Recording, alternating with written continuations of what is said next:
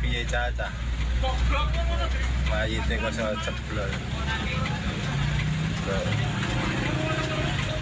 Wah, Inilah video amatir yang sempat merekam detik-detik peti jenazah terlempar dari mobil ambulans hingga terjatuh di jalan raya.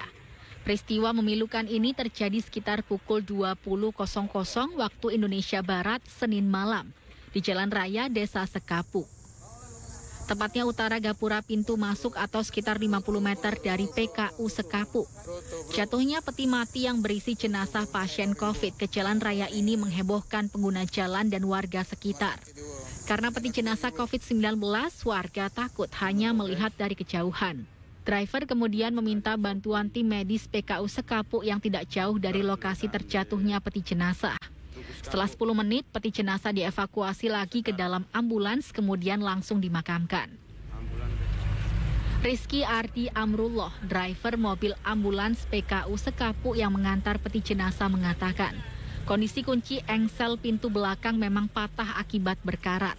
Namun saat mobil ambulan PKU Sekapu berangkat sekitar 50 meter dari rumah sakit, tiba-tiba peti jenazah terlempar dan jatuh di jalan raya. Meski begitu, Ardi menjamin peti jenazah tetap rapi dan tidak mengalami kerusakan. Saat di pemakaman desa setempat, Ardi juga ikut menurunkan peti jenazah dan memakamkan bersama petugas COVID-19. Itu gimana Mas Ardi ceritanya? di engsel letter U-nya pintu itu Ah. patah. Oh Mungkin patah. karena kena karat akibatnya rem meledak sempetan mungkin. Oh gitu, siap, siap. Mm-mm. Sebelum berangkat sih sudah dicek Dicek. dan memang sudah rapat.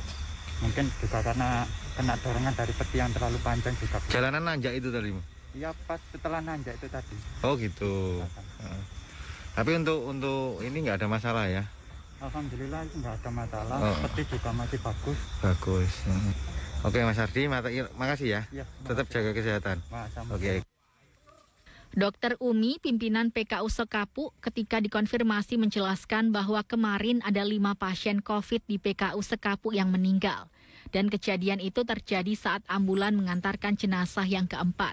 Dan peristiwa itu di luar dugaan, karena saat hendak berangkat semuanya sudah dicek dan sesuai prosedural. Dan pihak PKU Sekapu juga akan menemui pihak keluarga untuk menjelaskan kejadian semestinya.